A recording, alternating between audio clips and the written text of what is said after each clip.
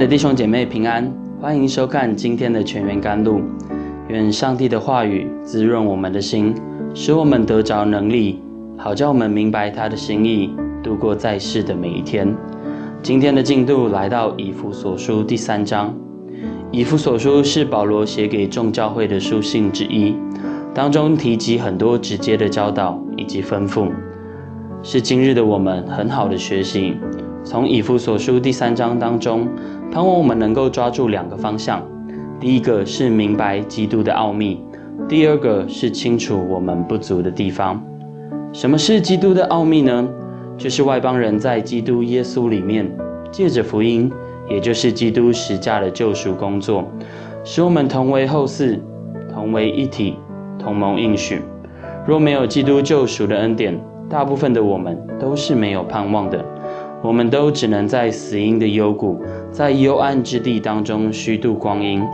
但因着基督的工作，我们和以色列人一样，继承了神所有一切的应许。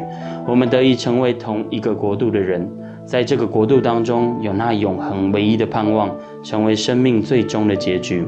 也因此，保罗说：“因着相信基督为我们所做的一切，我们就得以放胆无惧。”笃信不疑地来到神的面前，恢复当初创造时人与神美好的关系。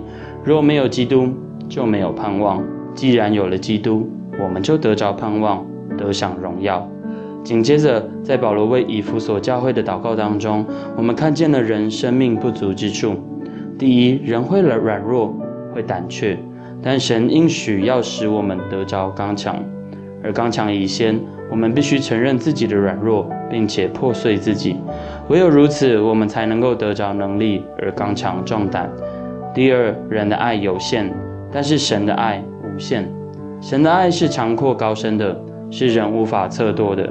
既然他的爱超过了人的理解，那么很多时候我们就必须耐心等候神的心意向我们显明，而不是按着人的想法对事情做出回应，却忽略了先寻求神的旨意。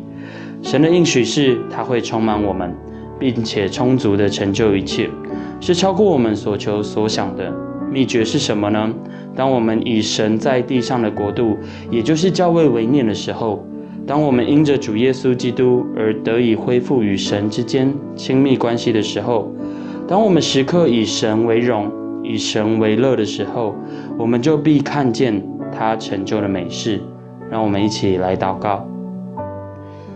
亲爱的天父，谢谢你透过耶稣基督成了那永远的赎罪祭，也是我们每一个人生命永恒的确据。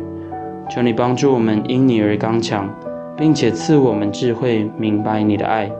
愿我们的生命以你为荣，以你为乐。祷告奉主耶稣基督的名求，阿门。